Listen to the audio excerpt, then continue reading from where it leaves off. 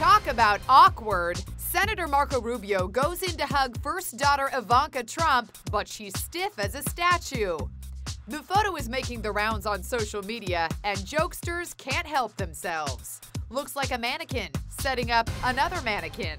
Star Trek's George Takei cracked, Ivanka, perhaps you're taking statuesque a bit too literally.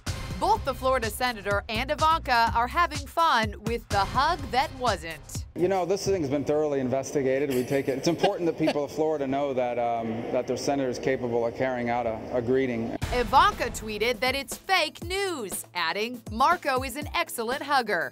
It's reminding everybody about that No, recent thanks. klutzy No, moment thanks. when singer Yeah, no, Kesha ran into Jerry Seinfeld on the red carpet. Can I give you a hug? No, thanks. Please? No, thanks. A little one. Yeah, no, thanks.